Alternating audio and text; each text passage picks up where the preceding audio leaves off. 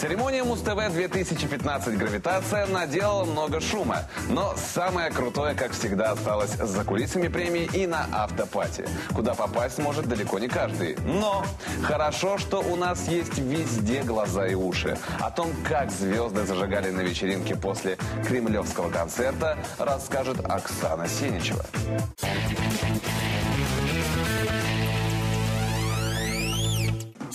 После концерта в Кремле звезды российского шоу-биза отправляются на автопати в Роуз-бар.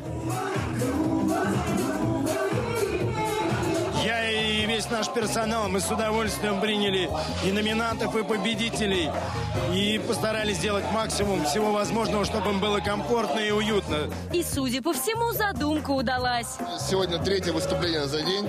Я не то чтобы расслаблен, но, но, но мне хорошо. А еще лучше модели Марии Миногаровой, которую Джиган вытаскивает на сцену. Тусовка, кстати, получается весьма информативной. Например, группу Артик и Асти можно поздравить с пополнением. Это новый член нашей команды просто. Теперь он везде с нами будет. Он маленький, его нужно нянчить все время. Тем не менее, на сцене третий солист так и не появляется. В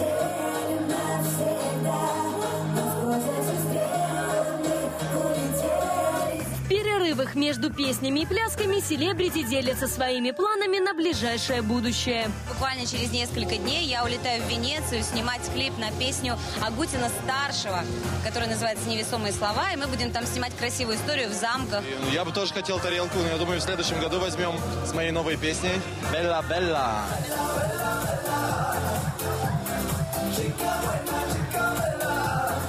Да, конкуренция на премии Муз-ТВ с каждым годом все выше. Чтобы забрать заветную тарелочку, одного таланта мало. Тут потребуется еще и удача. Чего, собственно, мы и желаем всем будущим номинантам. Оксана Сеничева, Настя Макоста, Кирилл Воротынцев. Про новости.